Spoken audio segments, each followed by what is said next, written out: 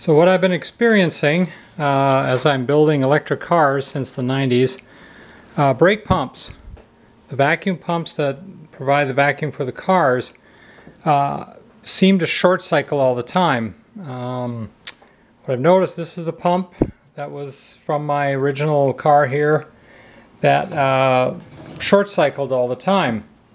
What I found is the little vacuum part of it actually goes right next to the pump.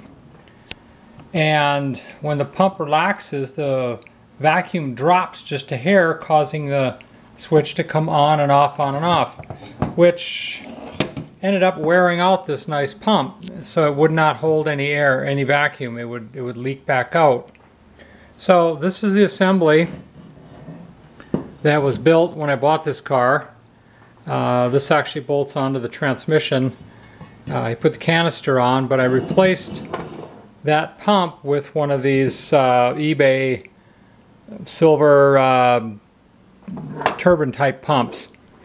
Anyway, what I did find was that any of these vacuum switches, such as this one, uh, this one seems to turn the vacuum off at 10, but there's no, no hysteresis, which means that it just sits and and turns the pump on and off, on and off, which is why all these pumps are wearing out.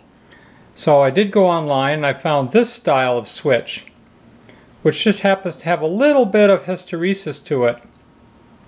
Now rather than hooking this to the output of the pump in this part here, I've actually hooked it up into the canister output, which will then go into uh, the rest of the car.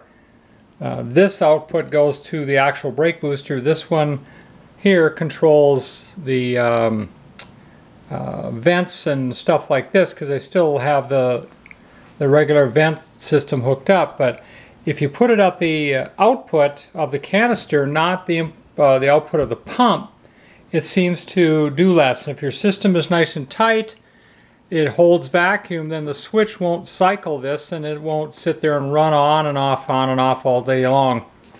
So that's what I recommend. Put your vacuum switch after the canister, after the canister's check valve, so that the canister will hold enough vacuum so it doesn't short cycle and your pump will last a lot longer.